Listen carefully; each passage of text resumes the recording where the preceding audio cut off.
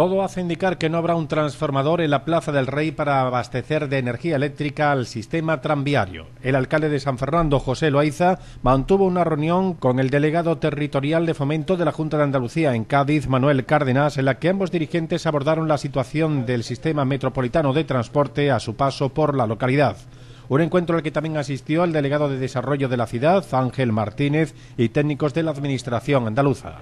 El encuentro transcurrió de manera cordial y con claras intencionalidades de avanzar en la conclusión del proyecto del tranvía, destacó el alcalde de la ciudad. Entre los temas abordados se encontraba la petición formulada por el alcalde de San Fernando para que el centro de transformación que el proyecto inicial ubicaba en plena Plaza del Rey constase con una alternativa que no hipotecase el centro neurálgico de San Fernando. Para ello, desde el consistorio se presentó una solución técnica que Manuel Cárdenas valoró positivamente y que definió como un paso más dentro del esquema general de colaboración y entendimiento que se mantiene entre ambas administraciones. El primer edil volvió a insistir igualmente a la Junta de Andalucía en una solución para los problemas detectados a lo largo del trazado, una cuestión en la que, aseguraron los representantes autonómicos, se sigue trabajando. Por su parte, el delegado territorial de fomento de la Junta de Andalucía destacó el clima de entendimiento, colaboración y cordialidad y dijo que con esta reunión se ha cumplido el objetivo de dar un impulso definitivo a toda la infraestructura eléctrica para avanzar en las obras del tranvía dentro del tramo urbano de San Fernando y la preocupación por el acabado de las obras del tranvía en el Ayuntamiento de San Fernando son muchas. De hecho, el Ayuntamiento no renuncia a resolver problemas relacionados con estas obras de infraestructuras tranviarias. El delegado de Desarrollo de la ciudad, Ángel Martínez, ya explicaba en el programa Análisis de Teleisla determinadas necesidades e infraestructuras que debe complementar este proyecto tranviario. Es el caso del enlace de la Avenida de la Constitución con la CIA 33 los aparcamientos disuasorios y sin olvidar la situación general de las obras, que presenta importantes deficiencias de acabado, sobre todo en lo que concierne a la solería.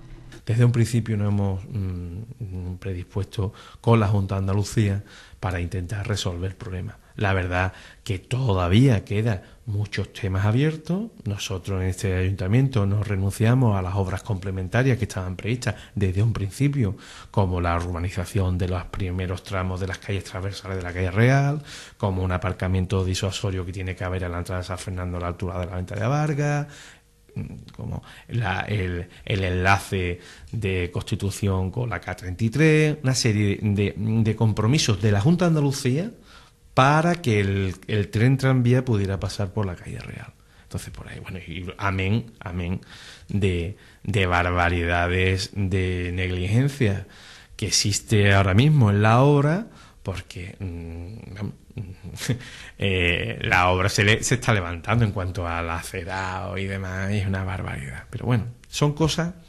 que sin hacer mm, eh, una guerra sucia y demás, sino con el diálogo y demás estamos llegando o intentando llegar a un, acuerdo. Y si es verdad, y lo debo de reconocerlo, que estamos teniendo un entendimiento con el delegado provincial, con Manuel Cárdenas, eh, y bueno, estamos viendo a ver de qué manera ambas instituciones nos ponemos en sintonía para darle una, una solución.